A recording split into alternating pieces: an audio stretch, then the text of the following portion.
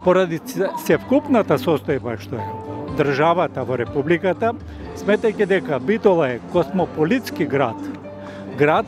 на сите народи, сите народности, од сите вери кои што се присутни во ова во овој наш град, решив да се обратам едноставно да можеме да живееме во мир, во спокојство, во разбирање со сите нас тука и на некој начин да поддржиме да се оствари мир, да се оствари македонскиот народ да ост, да биде во мир и да ги остварува своите права во својата држава. На крај крајва да ја одбраниме државата онака онака како што треба.